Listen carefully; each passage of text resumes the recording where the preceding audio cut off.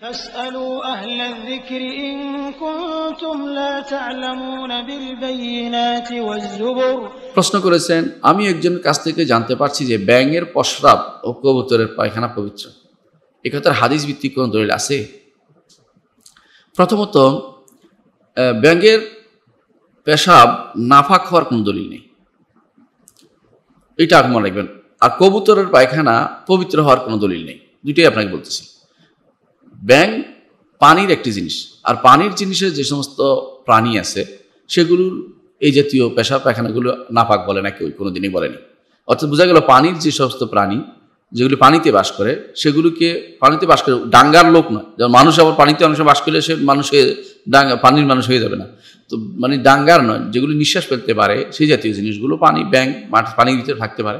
সেই জাতীয় অথবা কোনো ব্যাঙে ধরুন, কোনো ব্যাঙে ধরেন, সে না, যারা বলে যে এগুলি ইব্রাহিম আলাইসাল্লাম আগুনের মধ্যে পেশাব করে দিয়েছে। এই জাতীয় বানোয়ার কথা, এগুলো সত্য নয়।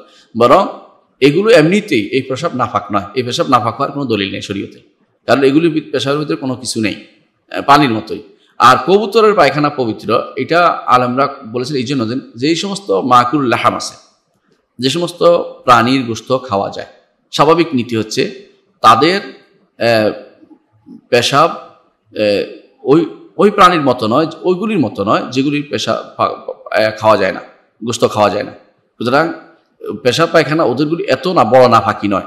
কারও কারও নিকটে, ইমামদের কারও কারও নিকটে এদেরগুলি মোটেই না। ফাঁক নয় কিন্তু আবু হানিফা রহমতুল্লাহ বলেছেন যে এগুলো যদি কোনো চার ভাগের তিন ভাগ কাপড় নষ্ট করে অর্থাৎ বেশি নষ্ট করে ফেলে অর্থাৎ সুলুস বলেছেন অথবা রোবো বলেছেন, ততটুকু রোবো রোবো মনে হয় সম্ভবত, তো অতটুকু হলে তিনি নাফাক মনে করেছেন। এর আগে তিনিও নাফাক বলেন এর অর্থ হচ্ছে যে ধরো পেশাব লাগল, গরুর সোনা লাগল, এতে নাফাক হয়ে যাবে এরকম না। ওটুকু ধুয়ে ফেলবেন। না ধুইলেও সামান্য লাগলে আপনার সালাত হয়ে যাবে। হ্যাঁ গরুর কোথাও হাঁটিয়ে এসছেন, গরুর গোবর লেগেছে পায়ে, সেটা মুছে ফেলেছে নামাজ হয়ে যাবে, কোনো সমস্যা নেই। কারণ এগুলি আসলেই এরকম কঠিন নাফাক বলে কেউ বলেনি, এগুলো হালকা নাফাক বলে আবু হানিফা রহমতুল্লাহ নিকটও বলেছেন, অন্যরা এটাকে নাফাকে বলেন নেই। তো আমরা এটা বুঝে নেই যে মৌলিক যে কারণে এগুলিকে বলা হয়েছে, এগুলি থেকে বাঁচার জন্য বাধ্যবাধকতা দেওয়া হয়নি।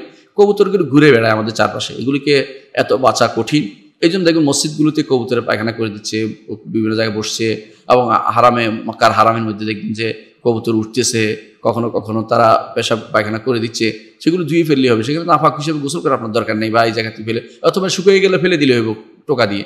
এগুলো আসলে সব আমরা এখানে একমত, দ্বিমত হয় না কেউ সুতরাং এখানে বাড়াবাড়ি পর্যায়টা আসছে এই জায়গা, এই জায়গায় যখন বলা হচ্ছে যে কবুতর এই করেছে, ব্যাঙে পেশাব করে দিছে, এই জাতীয়গুলো বাড়াবাড়িগুলি ঠিক নয়।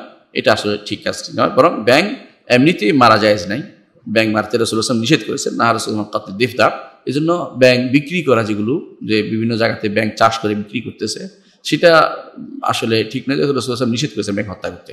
ব্যাংকের কারণে পরিবেশের ভারসাম্য রক্ষা হয় এটা এখন প্রমাণিত সত্য হয়ে গেছে। সুতরাং এগুলিকে হত্যা করা উচিত নয় মেরে ফেলা উচিত নয়। হ্যাঁ, বেশি হয়ে গেলে যে কোনো জিনিস শরীয়তের বিধান হচ্ছে কোনো কিছু খুব বেশি হয়ে গেলে ক্ষতিকর হয়ে গেলে তখন সেটার জন্য কোনো একটা ব্যবস্থা নিয়ে যেতে পারে। সেটা হিসাবে যদি কোনো সেগুলি বিক্রি করে বা কোথাও পেট দিয়ে বিক্রি করা যায় না, কোথাও সেগুলিকে ক্ষতিকর যেটা, সেটা ক্ষতি যে কোনো জিনিস ক্ষতি হলে যেটা দিয়ে সেটা ক্ষতিকর জিনিস যে কোনো সময় সেটা সরিয়ে দিতে হবে, সেটা শরীর অনুমোদন করে। কিন্তু ক্ষতিকর না হলে এগুলি নিয়ে বাড়াবাড়ি করা, মেরে ফেলা বা এগুলির ব্যাংক, ব্যাঙের পেশা পবিত্র, কবুতর বাগানা পবিত্র, এই জাতীয় কথা শরীয়তে আসেনি কোথাও।